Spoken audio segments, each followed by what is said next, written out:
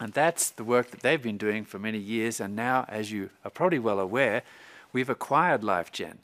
So all of their patents, all of their knowledge, the database that they have is now part of Nu Skin's intellectual property. That gives us a real edge at targeting the sources of aging, the ageLOC approach. So here's a heat map. And now you understand it, right? Here we have genes that are young, and you can see the gene expression levels that have changed as you become old. I think I've explained this a little earlier. The goal then is to reactivate or to find out what sort of a strategy, what kind of ingredients can reactivate those old genes so that they're expressing themselves so that they're youthful again. Here's an example. You have now the old and the young pattern, screening for ingredients. And you can see here that ingredient 4 has actually reactivated the old gene expression so that it looks much more like that of the younger gene expression pattern. This is something that nobody's ever been able to do before ageLOC. It's important to know that we have this gene expression data bank. Now, I told you before how immense, how huge this, the, the level of data is in the human genome. So, as you do each experiment, you're generating millions of data points. We have been, or LifeGen has been accumulating over the last many years all of the information that they've gathered from looking at different tissues, different species, and uh, different states of life, young versus old, different ingredients, different nutritional regimens. All of that information has gone into this database. Just to give you an example of the kind of uh, data that's generated, in this simple experiment alone, there are 30,000 genes per genome, as I mentioned. And uh, in this simple experiment, five individuals were tested with various ingredients seven biological conditions, young and old, plus five ingredients. So this adds up to about 10.5 million gene expression data points. So you can see that this quickly starts to accumulate. This is information that we have that helps us to access uh, understanding aging at the genetic level. This is our ageLOC tool. Now I've spent a bit of time explaining this to you because I hope I need you to understand that ageLOC is not just one sort of one approach or one product. It's a whole approach to looking at aging at the sources and not just the signs and the symptoms. So using this ageLOC tool, now we're able to go and to investigate aging and see what we can do about it. So again, I mentioned before, youthful feeling is very much related to how productive your cells are and how youthful they're expressing themselves. And those cells in terms of their energy production and how they're able to cleanse themselves are also very much dependent upon how the genes are expressing themselves. That's targeting the sources of aging.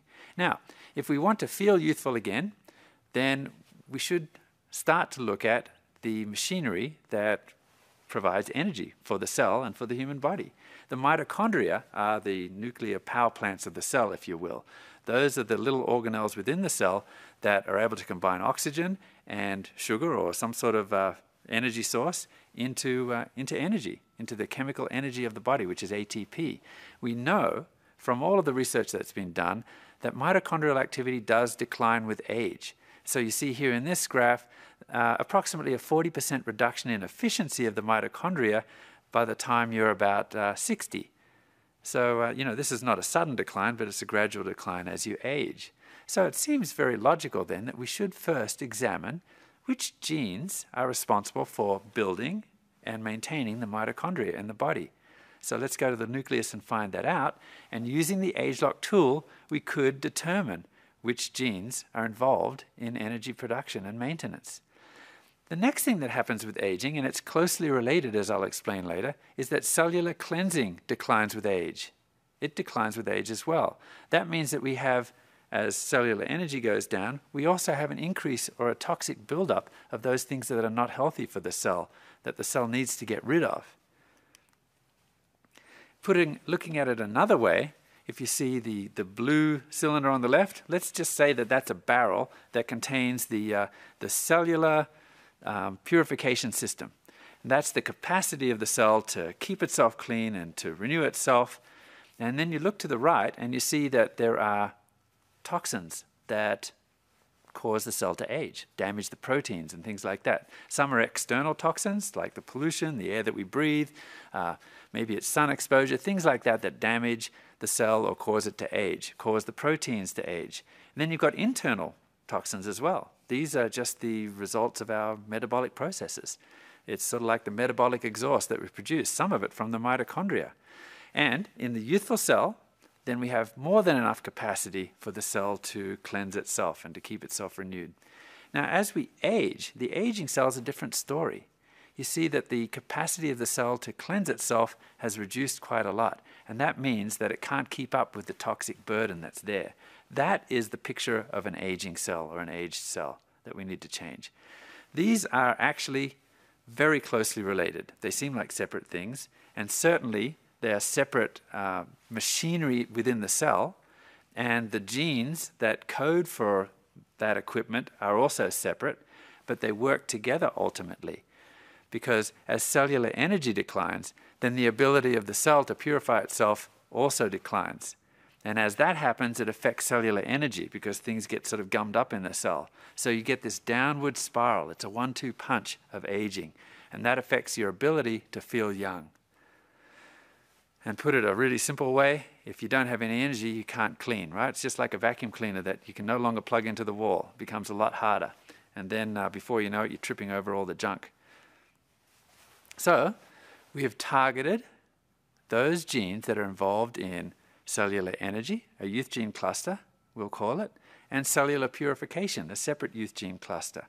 And you can see that as we age, because we have found those genes that change during the aging process, then we can target those and try to reactivate them. And that's what the ageLOC tool is all about. Targeting those genes and then reactivating them so that we can have that youthful feeling again. So, in summary, then, we've got an approach where we target the sources of aging. That's what ageLOC is. And our association with LifeGen Technologies, our database, all of that information that we have on being able to interpret the genome at the aging level, or in other words, measure aging at the genetic level, has enabled us to have a whole new innovative approach at targeting the sources of aging and doing something about it. In this case, we've targeted two systems inside the body cellular energy and cellular purification that I've shared with you are intricate, intricately connected. And the cellular energy helps us to feel recharged. The cellular purification helps us to feel refreshed. Now, these work together, as I mentioned, right?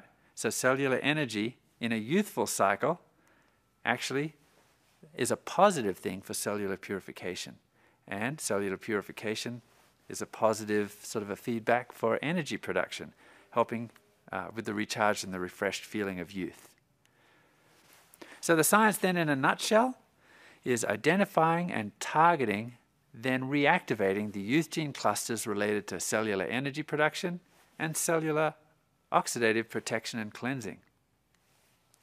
Where does that leave us? Well, starting today, then, you have the power to feel young. Now, ageLOC R squared, day actually targets physical, mental, and sexual energy, and R squared night cellular oxidative protection and cleansing, as I've explained earlier with the science. Now, the recommended use, of course, is that we want to feel the youthful energy during the day. So, ageLOC R squared day is taken uh, in the morning or anytime during the day when you're feeling a little bit of a lag, targeted for those people who have ever felt flat or sluggish, out of tune, and want to feel young. So, take six of those in the morning, and Age ageLOC R squared night is taken in the evening two capsules in the evening because actually that's where most of the cellular cleansing is taking place. The advantages of this approach, as I've explained hopefully uh, fairly clearly, is that we are targeting the sources of aging rather than just the signs. Now, where does that leave LifePak? Because I'm sure many of you actually are faithful LifePak consumers. Well, it's the perfect companion. LifePak provides a significant nutritional supplement for a healthful diet, a youthful diet. And those nutrients are critical for cellular purification and cellular energy as well.